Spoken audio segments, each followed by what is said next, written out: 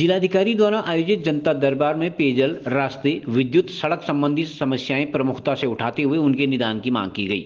मंडल जिला के ग्रामीणों सहित अन्य संगठनों ने जिलाधिकारी के सामने समस्याएँ रखते हुए कार्रवाई करने की मांग की। मैंने समस्या एक पानी की पानी की समस्या रही, बिजली की रही, बल्कि जो रोड नीचे से नाला, ऊपर से रोड। इसकी वजह की समस्या जिसमें डीएम मैडम ने हमें आश्वासन दिया है जल्दी वो नाली का काम भी शुरू होगा। और क्या कहते हैं ये पानी का भी वो, वो काम चल रहा है टैंकी में वो भी होगा। ये हमें आश्वासन दे रखा है। देखते हैं कि फ़ील्ड में कितना काम होता है कितने जल्दी से काम होता है कितने वो होता है। क्या क्या परेशानियाँ होती हैं जैसे पानी पानी पानी की तो बहुत एक एक ही घर से हम इतने बड़े बीस मवासी लोग पानी पी रहे होंगे उससे। अब जब उसके उनके वहाँ पानी आया तो हम पानी से वंचित हो जाएँगे। ना? इतना बड़ा एक ये बड़ा भव्य मंडल सेरा है, उसमें ये पानी की समस्या काफ़ी समय से बात चली आ रही है, जिसमें अभी तक हल नहीं निकल पाया।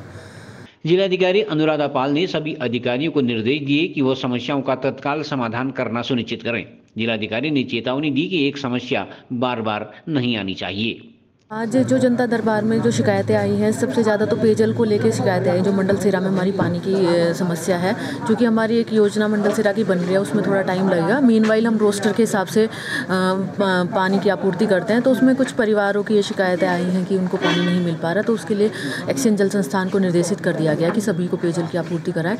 मंडल सेरा वाली जो बाईपास सड़क है, जिसका हम डामरीकरण होना है, वो ऑलरेडी हमारा टेंडर पास हो गया है तो अब उसका कार्य एक दो दिन में स्टार्ट हो जाएगा तो ये अगले दस पंद्रह दिन में वो पूरी सड़क का डामरीकरण हो जाएगा तो जो गड्ढों वाली समस्या है वो नहीं आएगी। सीसीएन न्यूज़ के लिए ब्यूरो रिपोर्ट बागेश्वर।